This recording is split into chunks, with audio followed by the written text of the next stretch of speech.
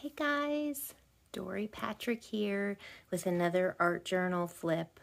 Uh, I think I meant to do this one months ago and got distracted. You know how it is.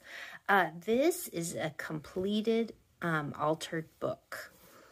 Um, it's an old library book. I think it was um, a sewing book with some patterns and instructions in it.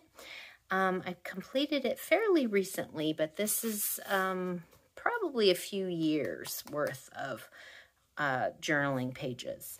And I thought you might like to take a little peek. Um, and I'm going to close up on the cover here.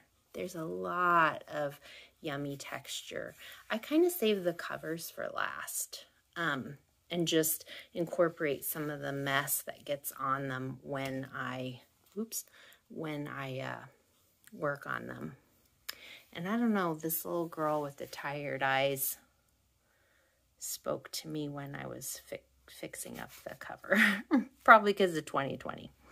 And then here's the back cover. It has kind of a fun, random floral doodles, um, lots of texture. This is some molding paste and collage papers and stuff. And I sealed the whole thing with um, a matte varnish a couple of times, just so any of this stuff, uh, the graphite and the pastel wouldn't uh, smear. So um, I'm just going to switch this over to some music and I hope you enjoy. I'd love to hear any questions or comments um, below if you have any.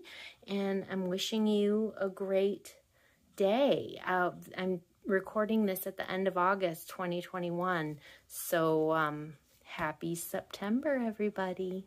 Enjoy.